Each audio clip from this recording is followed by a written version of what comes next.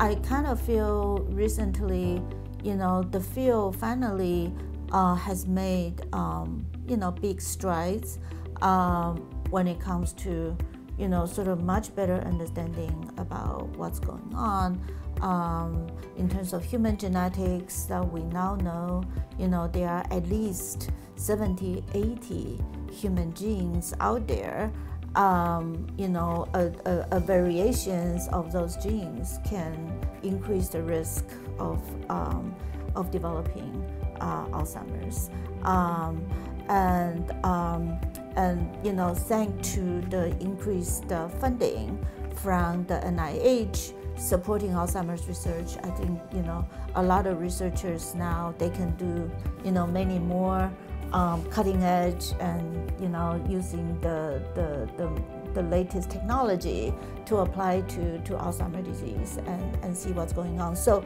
so I sort of feel we've come a long way in terms of you know understanding you know the contributions of uh, key genetic factors to the disease and from studying those genes we kind of get closer to what goes wrong at the cellular, molecular, and brain circuit levels that, um, that can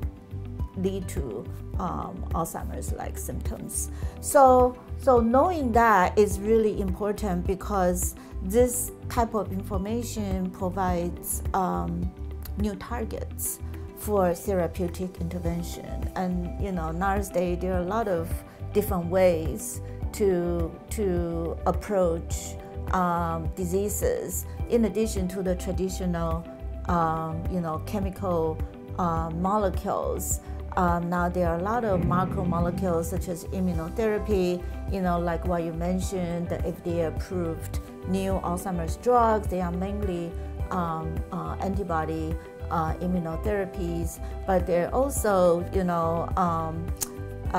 sort of promising, you know, news about other kind of um, um, gene therapies, such as using antisense oligonucleotide um, therapy, and um, you know other new ways of thinking about treat, treating the disease. So yeah, I think we have reason to be um, more optimistic about treatment.